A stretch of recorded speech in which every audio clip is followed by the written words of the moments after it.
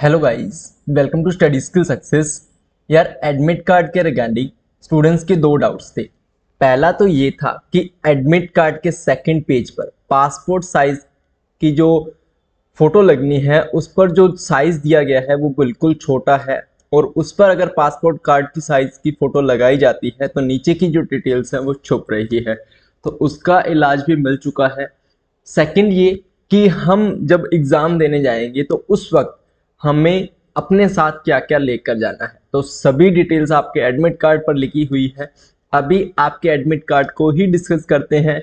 मैंने जो additional details है, उसको छुपा दिया है, जो कि आपके किसी काम की नहीं है, सिर्फ़ और सिर्फ़ उस कैंडिडेट के ही काम की है। सबसे पहले आपको बिल्कुल पता होगा एग्ज़ाम के बारे में टाइमिंग के बारे में। आपका जो डेट ऑफ़ एग्जामिनेशन है, वो संडे को है, यानी कि 17 जुलाई। रिपोर्टिंग टाइम 11:40 से शुरू हो जाएगा और एक तीस पर आपके गेट्स क्लोज हो जाएँगे, यानी कि एक तीस के बाद किसी भी कंडीशन में आपको एंट्री नहीं दी जाएगी। दो बजे आपका एग्ज़ाम शुरू होगा और पाँच बीस तक आपका एग्ज़ाम चलेगा। ठीक है? यहाँ पर आपका सेंटर का कोड, आपके सेंटर का नाम और आपके सेंटर का वेन्यू आ जाएगा। इसके अलावा नीचे कोविड का फॉर्म दिया गया है, उस कोविड के फॉर्म को भरना है। अगर आपको फीवर, कफ वगैरह कुछ भी इनमें से है तो इसको टिक कीजिए अदरवाइज़ ऐसे भी छोड़ सकते हैं या फिर इसको इस प्रकार से कर दीजिए, कोई दिक्कत नहीं होगी, ठीक है? यहाँ पर आगे पढ़ के आप भर दीजिए। अगर आपने पिछले पंद्रह दिनों में किसी भी अदर कंट्री में विज़िट किया है तो यहाँ पर आपको उस सिटी का नाम लिखना होगा, उस कंट्री का नाम लिखना होगा, और वहाँ से कब लौटे हैं, उसकी डेट लिखनी होगी, ठीक है? अब नीचे आपको यहाँ पर ये सारी चीज़ें जो है वो आपको वहीं पर करनी है। जब आप एग्ज़ाम सेंटर पर पहुँच जाएँगे, यहाँ आपका फ़ोटो लगेगा। या लेफ़्ट थम का इम्प्रेशन हो गया। कैंडिडेट्स के पेरेंट्स के सिग्नेचर आप यहीं घर से करवा लीजिए। चाहे तो फादर चाहे मदर या फिर चाहे बिग ब्रदर किसी के भी साइन आप करवा लीजिए, ठीक है? यहाँ पर आपके साइन होंगे, लेकिन आपके साइन तब होंगे जब आप एग्ज़ाम सेंटर में होंगे और इन्विजिलेटर के सामने होंगे, ठीक है?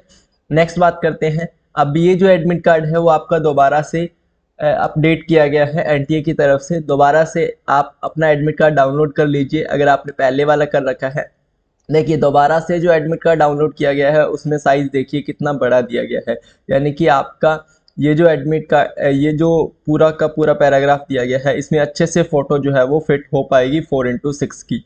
तो दोबारा से एडमिट कार्ड डाउनलोड कर लीजिए। यहाँ पर आपकी फोर इंटू सिक्स की जो है फ़ोटो जो है वो आराम से पेस्ट हो जाएगी, ठीक है? अब आते हैं एडिशनल डिटेल्स पर। इंस्ट्रक्शंस में आपको दिया गया है कि क्या क्या लेके जाना है।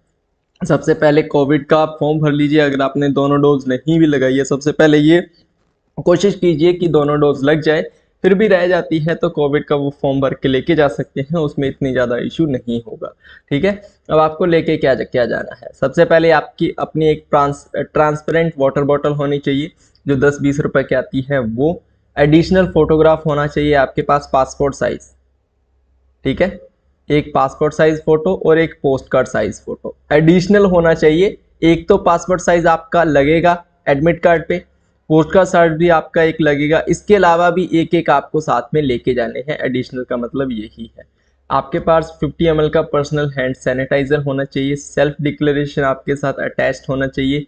और जो पेज टू दिया गया है पोस्ट कार्ड साइज़ फ़ोटो के लिए वो भी आपका इसके साथ अटैच होना चाहिए, ठीक है?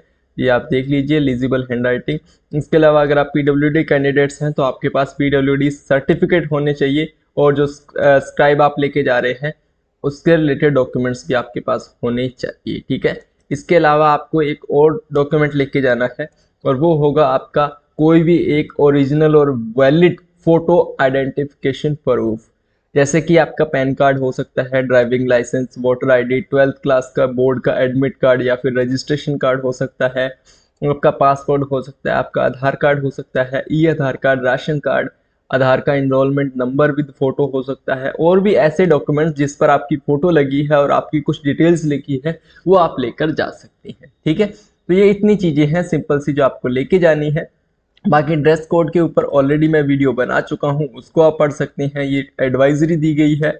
आप फ्री बैठ के 16 तारीख को आप पढ़ेंगे नहीं तो इसको बैठ के आराम से इसको आधा घंटा दे के आराम से इसको पढ़ लीजिएगा, ताकि पूरी डिटेल्स आपको समझ में आ जाए। बाकी इसके रिगार्डिंग कोई डाउट रहता है तो आप कमेंट कर दीजिए, मैं उस पर भी एक सेपरेट वीडियो जो है वो बना दूँगा। ठीक है? ये वीडियो कैसी लगी? कमेंट सेक्शन में कमेंट करके ज़रूर बताइएगा। ऐसी ही वीडियोस आगे भी मिलती रहेगी। उसके लिए चैनल को सब्सक्राइब ज़रूर कर लीजिएगा। आगे मिलते हैं नेक्स्ट वीडियो में, तब तक के लिए good luck and have a nice day